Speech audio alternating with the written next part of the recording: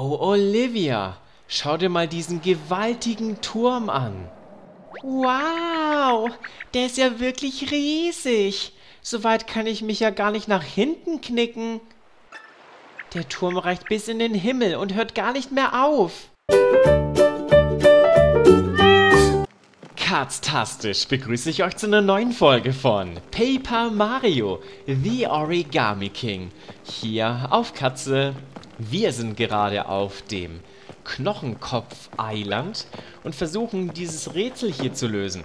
Wir sehen also in der Mitte, das rechte Auge brennt und zwei Fackeln oben. Und hier ist auch etwas unten. Moment, das mache ich. Oh, da war ein Knochengumba drin. Na toll. Okay, wir haben erstmal noch einen Kampf vor uns. Aber wir müssen irgendwie das Ganze spiegeln, denke ich. Auf der linken Seite das genauso machen wie auf der rechten Seite oder eben spiegelverkehrt. Also das ist so ein bisschen das Rätsel hier. Und ich weiß, ich rede gerade etwas konfus, etwas verwirrend. Aber ihr werdet gleich sehen, was ich damit meine. So, exzellenter Sprung. Und Achtung, die Knochengummers, die brauchen noch einen extra Sprung von uns. Und den kriegen sie auch. So, bitteschön, meine Freunde. Und auf Nimmer Wiedersehen. Sophia habe ich aber noch vor mir. Die, oh, oh, hey, hey, hey. Die mich auch noch anspringen wollen. So, schaut mal. Ich bringe den einen darüber. Dann haben wir noch den. Und das ist doch einfach. So. Und dann springen wir die Gummas auch nochmal in einer Kette an. Leider nur einmal, aber was soll's. Meine Lieben, hier kommt noch der Hinweis. Wenn euch Paper Mario gefällt, hinterlasst einen Daumen hoch und abonniert Katze. Denn so verpasst ihr auch in Zukunft keine spannenden und lustigen Abenteuer mehr. So. Liebe Katzenfreunde, wir beenden diesen Kampf jetzt. Die nächsten Sprünge werden richtig sitzen. Das kann ich euch versichern. Schaut mal, wie Mario das jetzt macht. Und zwar mit 1, 2, 3 und 4 Sprüngen. Tja, das war's dann wohl, meine lieben Freunde. Schlachtbonus gibt es oben dran oder Schlachtboni. Wird ja zusammengerechnet. Und jetzt können wir das Rätsel nochmal lösen. Wir müssen das runterbringen und das nach oben. Und dann ist es nämlich spiegelverkehrt angeordnet. Und tada, das zweite Auge leuchtet und es kommt ein Schalter hervor. Den klopfen wir mit unserem Hammer mal nieder. Mal sehen, was passiert. Oh, ein neuer Eingang wird freigesetzt. Oder freigelegt, besser gesagt. Ist da in den Kisten noch was drin? Solange da kein Gegner drin ist, ist alles okay. So, Schnipsel, Schnipsel, Schnipsel. Keine Gegner. Hätte ich jetzt nicht gerechnet. Also damit hätte ich jetzt nicht gerechnet. Ich dachte, da versteckt sich ein Cooper oder ein Knochentrocken oder ein Knochengumba. Schatzmini gefunden. U-Boot Marino. Und damit haben wir 100% der Minischätze gefunden. Oh, wo sind wir denn jetzt? Huiuiui. Oh, eine Statue. Die sich dreht. Ein Toad. Okay. Ewiglich glücklich selig sei, war der Karo-Inseln Kugeln drei, aus tiefsten Tiefen bringt herbei. Aha. Ewiglich glückselig? Was redet denn die Statue da? Ist ewiglich überhaupt ein Wort? Keine Ahnung, aber oh, was, was, was kommt denn da heraus? Ein Ventilator? Oh, und, und der funktioniert sogar. Wie auch immer das funktionieren soll. aber der pustet den ganzen Nebel hinfort. Das ist ja mal lustig. Der Nebel ist verschwunden. Danke, riesiger Ventilator. Wow! Der Nebel ist restlos weg. Das war ja klasse. Sucht und ihr werdet finden. Sucht die ewige Glückseligkeit. Ui, wir sollen was suchen. Das klingt lustig. Wobei, hm, eigentlich müssen wir ja der violetten Luftschlange folgen. Kümmern wir uns erstmal um die. Ja, das stimmt. Ähm, haben wir dann soweit alles erledigt? Zumindest gibt es jetzt keine Nebel mehr. Okay, wir können weiter, Skipper Toad. Wollen wir ablegen? Ja, wollen wir. Tschüss, Knocheninsel. War schön hier. Endlich ist der doofe Nebel weg. Jetzt können wir den ganzen weiten Ozean erkunden. Das stimmt. Aha, und da sehe ich schon die Luftschlange. Folgen wir ihr, Mario. Genau, das tun wir. Immer schön der Luftschlange hinterher. So, und oben rechts gibt es irgendwie einen Hinweis. Ding, dong, deng, döng. Ein neuer Motor für dein Schiff ist im Hafen von Toad Town verfügbar. So, schaut mal, das ist ein riesiger Wal unter Wasser. Hui, der kann sogar hochspritzen. Hui, hui, wir fliegen. Wow, unergründlich ist die See. Aber lustig, hier einmal mit dem Wal quer oben zu surfen, möchte ich schon fast sagen. Erinnert mich ein bisschen an Charm City. Wisst ihr noch, als im Hotel ein Sniffet auf einem Toad, der zu Origami gefaltet wurde, rumgesurft ist? Super lustig. das war eine echt verrückte Situation. So, oh, schaut mal. Wer wohnt denn hier? Ein Stück Grün, unverkennbar geformt wie ein Pilz. Diese Insel taufe ich auf dem Namen Pilz Island. Aha.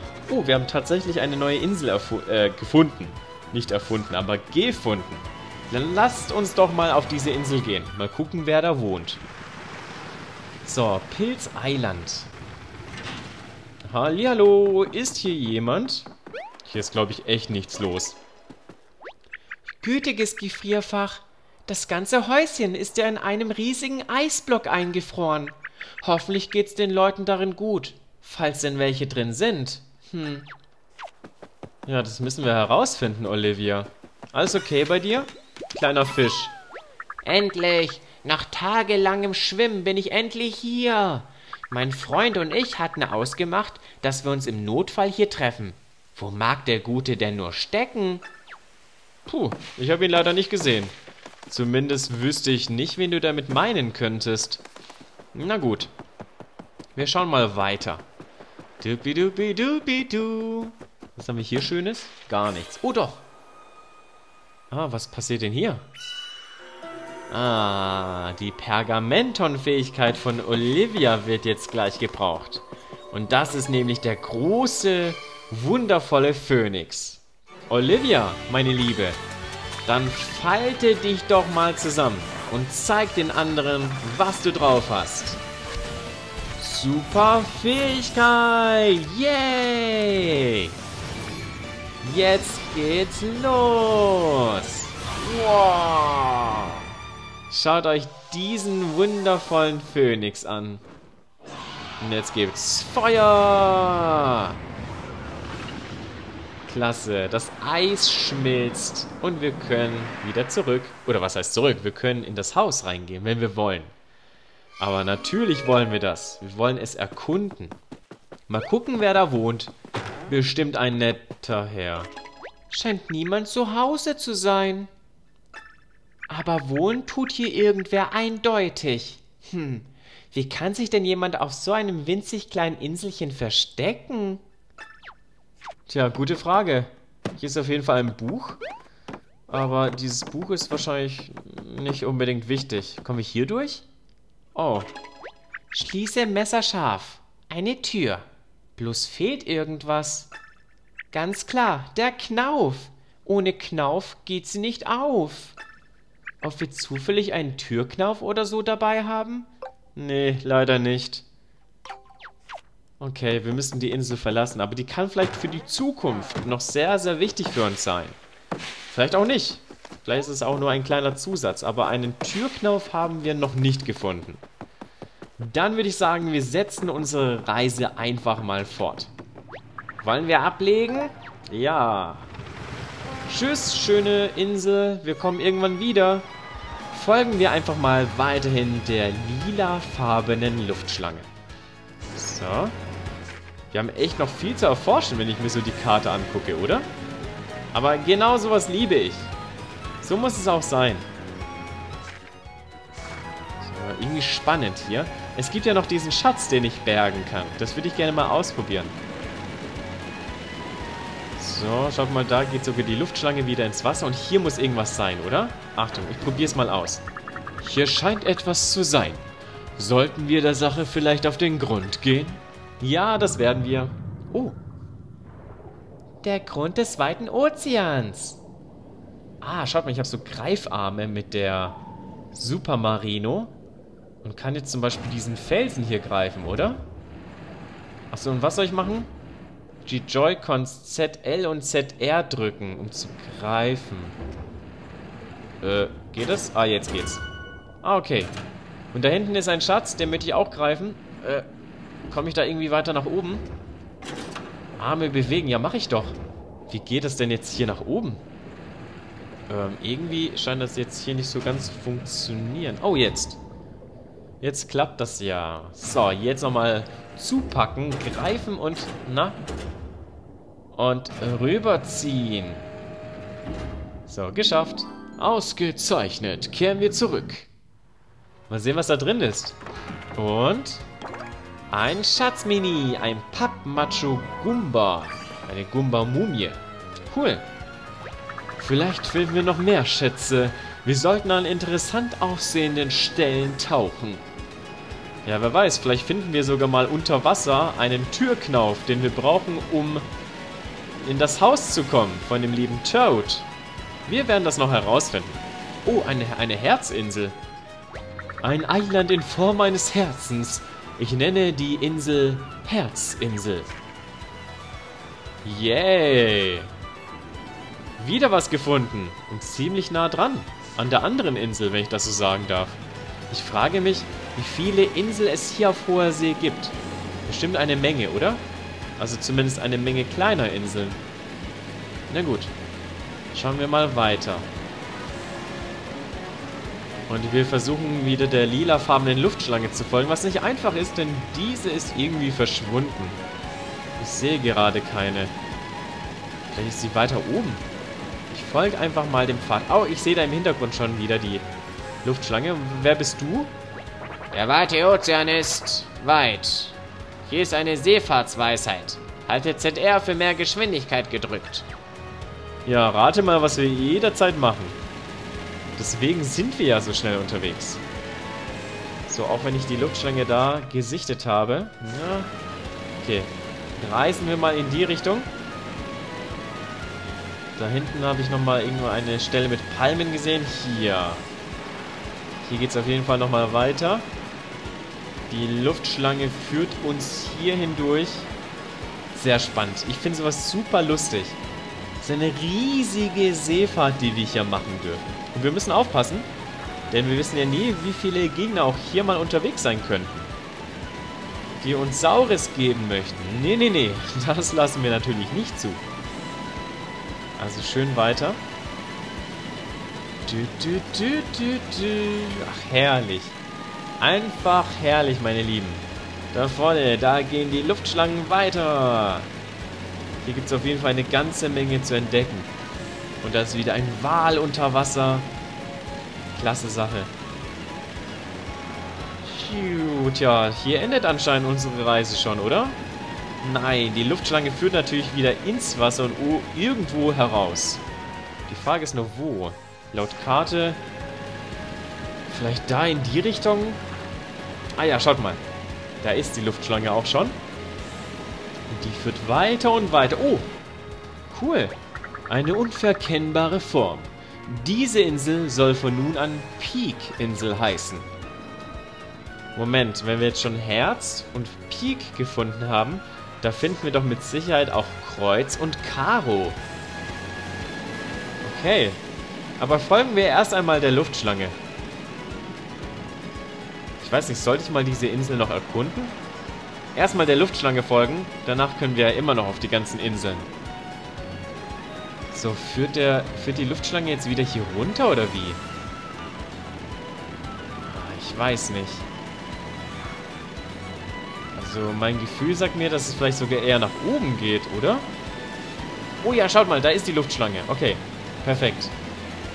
Und die führt tatsächlich nach oben, also Richtung Norden. Zumindest für uns aus der Betrachtung. Vielleicht ist es auch nicht der nördliche Punkt. Oh, da vorne ist irgendwas. Was ist das? Ein riesiger Turm. Und da schlängelt sich die Luftschlange.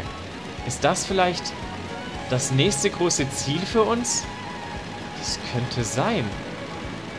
Da oben, da ist sie bestimmt be befestigt. Und hier ist ein Flygeist. Achtung! Puh, der ist ja riesengroß. Was das wohl für eine Insel ist? Ein hoher Turm auf hoher See. Ich würde sagen, dieses Bauwerk nennen wir den Hochseeturm. Okay, können wir gerne machen. Und der ist ganz oben auf der Seekarte. Verrückt. Die violette Luftschlange windet sich bis ganz nach oben. Die Sache wird wohl schwieriger als erwartet. Ja, aber lass uns mal gucken, ob wir da jetzt direkt oh, hochgehen können. Ui, ich glaube, wir können nicht so einfach rein. Aber ich sehe schon die Röhre mit der 4 drauf. Hm, die ist ja echt groß. Also der Turm ist echt groß. Wow, der ist ja wirklich riesig. So weit kann ich mich ja gar nicht nach hinten knicken. Der Turm reicht bis in den Himmel und hört gar nicht mehr auf. Und die violette Luftschlange auch nicht. Ich kann's ja gar nicht abwarten, da hochzuklettern. Denk nur an die ganzen Stockwerke, die wir dann erkunden können. Wobei, wenn man der Schwerkraft unterworfen ist wie du, sieht das Ganze wohl weniger spaßig aus. Tja, nur wie genau kommen wir jetzt da wohl hoch? Ja, das ist eine gute Frage, Olivia. Ähm, ich würde sagen, wir ziehen erstmal diesen Sticker hier raus. Und dann schauen wir uns mal die Tür genauer an. Vielleicht kann uns die Tür ja eine Art Hinweis geben, wie wir da hochkommen. Aber ich muss sagen, dieser Turm hat was sehr Majestätisches. Hm, was denkst du, wofür diese drei Öffnungen wohl sind? Ja, mit Sicherheit sind es drei wichtige Steine, die wir erst holen müssen, die wir besitzen müssen. Die könnten bestimmt unter Wasser versteckt sein. Die müssen wir erst bergen. Irgendwas wird bestimmt in diese Richtung der Fall sein. Sollen wir wieder abdampfen? Ja, bitte. Okay. Also von meinem Gefühl her würde ich sagen, dass wir jetzt mal diese drei, zwei, drei, vielleicht finden wir sogar noch mehr Inseln erkunden und ansteuern. Nicht zu fassen, dass wir nicht in den Hochseeturm hinein können. Tja, äh, wollen wir stattdessen vielleicht all die Inseln erkunden? Genau, Olivia, genau das hatte ich vor. Das ist eine gute Idee. Lass uns mal nachsehen, ob wir auf den Inseln womöglich weitere Informationen erhalten können. Ich meine, das ist wirklich so das Beste, was wir jetzt in dieser Situation machen können. Also gut. Einmal quer durch die Gegend. Heizen wir hier hindurch. Oh, Cheap Jeeps. Ja, ja, die lieben, guten alten Cheap Jeeps. Die sind natürlich immer für etwas Ärger parat. Aber das ist okay. Ähm, gegen Cheap Cheeps bin ich ja gewissermaßen vorbereitet. Denn wir wissen alle, Cheap Cheeps halten gar nicht so viel aus. Die kann man also sehr schnell besiegen. Und genau das ist der Vorteil. Denn wir hauen dann einfach mal schön auf den Putz und zack, erledigen wir diese Sache hier. So. Also mal aufgepasst. Das sieht doch schon mal gut aus. Wir nehmen den Powerblock und dann sollten gleich alle besiegt sein. Ja, das war sehr, sehr praktisch. Cool. Hat direkt super funktioniert. Klasse Sache. Okay, können wir jetzt weiter oder sollen wir noch hier bleiben? Auf hoher See. Ich würde sagen, wir stellen... Oh, oha, eine Insel geformt wie das Kreuz auf einer Spielkarte. Sie soll Kreuzinsel heißen. Vielleicht sollte die Kreuzinsel die erste Insel sein, die wir jetzt mal genauer betrachten und erkunden, oder? So, dann mal sehen. Schauen wir uns die schöne Insel doch mal genauer an. Ich meine, an sich sieht sie ja schon mal ganz nett aus. Ah ja. Okay, mein lieber Toad. Juhu, danke Mario. Sag mal, wo du ja anscheinend gerade Zeit für selbstlose Taten und so hast, darf ich dich um was bitten? Schau mal, das Plateau da hinten. Ich würde mich dort so gern in die Sonne legen. Doch der Weg dahin ist mir etwas zu... na, gegnerlastig. Aber du kannst mich doch sicher dorthin bringen, oder? Prächtig. Ich folge dir einfach unauffällig. Okay, eigentlich ist der Weg gar nicht so weit. Und an den ganzen Gegnern sollten wir auch schnell vorbeikommen. Tada, schon sind wir hier. Bitteschön. Danke, Mario. Das war lieb von dir. Und weißt du, was noch lieber von dir wäre? Nee, was denn? Wenn du auch noch meine drei Freunde hierher bringen würdest. Die sind alle hier im Gras versteckt. Hatte ich doch erwähnt, oder? Jedenfalls, äh, vielen Dank schon mal. Juhu, Mario, hilft mir. Meine Freunde stecken irgendwo unten im hohen Gras. Danke, dass du sie herbringen willst. Juhu! Okay, mein Freund, dann mache ich das mal für dich. Können wir nicht noch ein bisschen entspannen? Hier sieht's echt gemütlich aus auf der Insel. Oh, da war ein Sniffet. Alles okay bei dir? Psst, hey Kumpel. Hast ein Toadradar dabei, wie? Für 1000 Münzen lade ich sie dir komplett auf. Oh, na gut. Dann mach, ich mal, dann mach mal schön weiter. Wir haben nie miteinander gesprochen, okay? Okay, der ist aber lieb. Der lädt mein Radar auf, wenn ich möchte. Hm, diese Tafel sieht ja irgendwie wichtig aus. Was sie wohl zu bedeuten hat, lass mich zur Sicherheit geschwind eine Zeichnung davon anfertigen. Wenn du sie dir später auf dem weiten Ozean nochmal ansehen willst, drücke einfach X. Okay, danke Olivia. Und hier auf der Bank können wir uns auch gleich mal erholen. So, gibt's da irgendwas? Kokosnüsse. Erholen wir uns mal. Oh, diesmal kein Gespräch auf der Bank, sonst gibt es immer Gespräche. Hier wohl jetzt nicht. Egal, ist auch nicht so schlimm. Es muss ja nicht immer ein Gespräch zwischen Mario und Olivia stattfinden. Die sprechen ja schon genug.